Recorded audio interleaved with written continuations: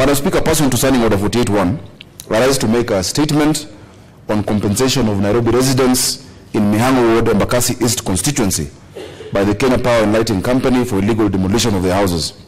Madam Speaker, between the 15th and 18th of March, houses and properties belonging to residents of uh, Mihango, Mihango Ward, specifically Choka, Mradi area, were demolished by officers from the Kenya Power and Lighting Company under the pretext that they were encroaching on the power line Wayleave.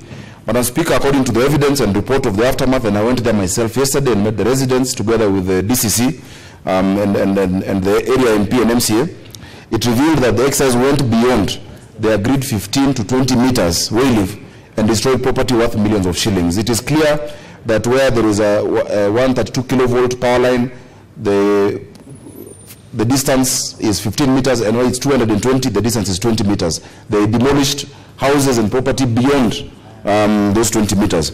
More than 300 innocent families, Madam Speaker, have been left homeless. And some have even lost their business premises and source of livelihood. There are reports that even one of the residents committed suicide because of frustration of losing his property. This illegal act has robbed the residents their dignity and subjected them to unwarranted trauma and stress, with children coming home in the evening not having a place to sleep. The demolitions were carried out in contravention of Article 40 of our Constitution that is clear on the protection of property and further goes against the spirit of the housing agenda under the Big Four plan of the President. I therefore humbly request that the Standing Committee on Land, Environment and Natural Resources looks into this matter urgently and with the sole intention of ensuring the following. That one, the Kenya Power and Lighting Company is held responsible and has to compensate residents whose houses were beyond the boundary, 15 to 20 meters away from the relief and were illegally demolished.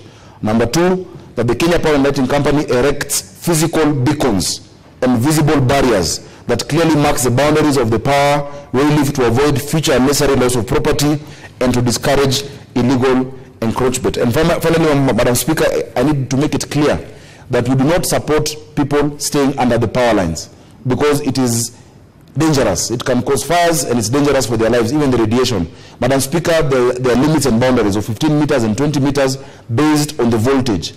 Our issue is with those who are beyond the 15 to 20 meters whose houses have been destroyed. It takes so much for normal Kenyan to get a loan, to build a house, to put their family there, only to come and find that what they have worked for for so long destroyed. And Madam Speaker, if they do not compensate them, I am filing a class action suit against Kenya Power for those who are beyond the limits uh, and, and, and, and, the houses were destroyed, Madam Speaker. So I urge that you direct that the Committee on Land, Environment and Natural Resources deal with this matter quickly because these demolitions are ongoing um, across the line all the way to Dandora and back down this side to Embakasi South, Madam Speaker. Thank you.